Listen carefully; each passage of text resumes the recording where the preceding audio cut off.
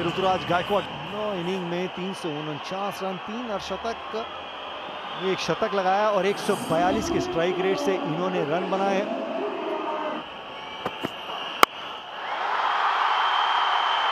चौके की तलाश कर रहे थे वो, दूसरे ओवर की अंतिम गेंद पे आई।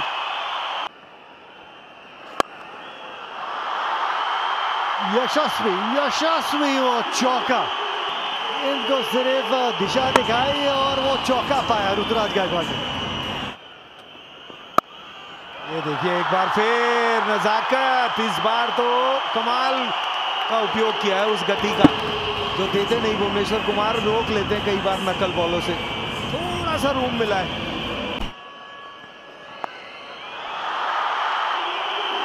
गजब चौका ये एक और ऋतुराज गायकवाड़ के बल्ले से राउंड द स्टंप्स उस एंगल का इस्तेमाल किया अपने लाभ के लिए।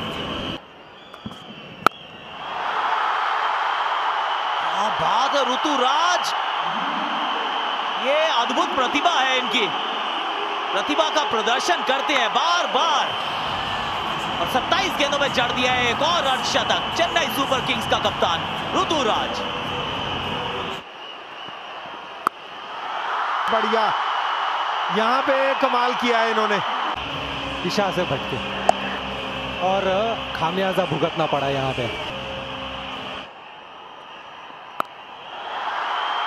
गीला गेंद हो जाए बैक द लेंथ हो तो ऋतुराज भी वहाँ पे तैयार है। तो जपान में पिछले मुकाबले में जब यहाँ बल्लेबाजी कर रहे थे, कप्तान का शतक था। आज भी शतक की ओर तेज़ी से बढ़ रहे हैं। कुछ इस तरीके से खोद के निकाला मिड ऑफ़ के ऊपर से वो छह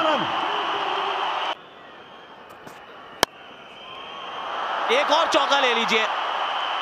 इक्यासी में जोड़ो, चार हो गए पिचासी।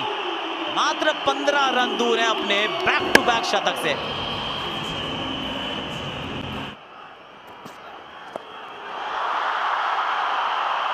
ये भी निकल गई है। वो बैक टू बैक बाउंड्रीज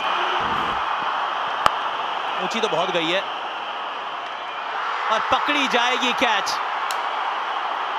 अट्ठानवे के स्कोर पर ऋतुराज गायकवाड़, वो गवा देते हैं अपना विकेट। टी नटराजन को मिलती है सफलता, उनकी पहली।